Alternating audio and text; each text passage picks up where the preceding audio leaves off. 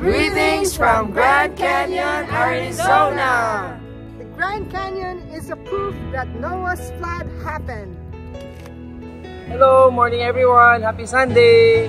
For this week, we're going to resume our Bible studies for the books of Psalms. This time on the book of Psalms uh, 104 to 105. Uh, Tuesdays, uh, 5 p.m. at Elisha Center. And on Wednesday, 6.30 p.m. at Keto Mom. Friday at 5.30 p.m. Don't forget the men's, women's, and children's Bible study.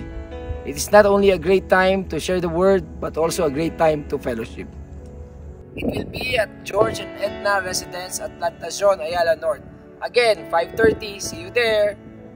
This coming July 19 to 22, Vacation Bible School for both Bacolod and Himamaylan.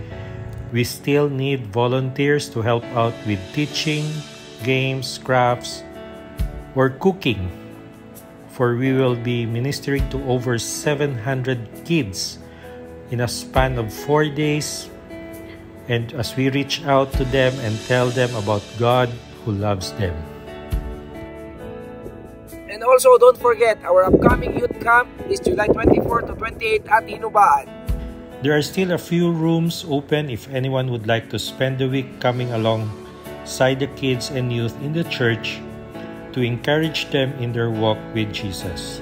We will be ministering to the next generation who will step up to be the light of the world. Hi, Pastor Dave. Hi, church family in Bacolod. Uh, I'm very blessed and very honored. In two weeks, I'll be there at the church at Bacolod.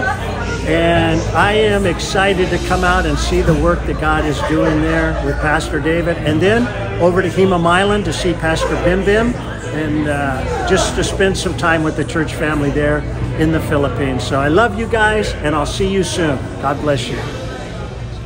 Hi everyone, we miss you. Hope to see you soon. We'll just surprise you.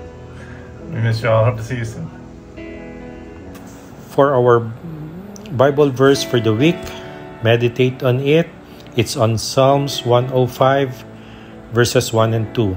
It says, Oh, give thanks to the Lord, call upon his name, make known his deeds among the peoples, talk of all his wondrous works. Psalm 105, verses 1 and 2.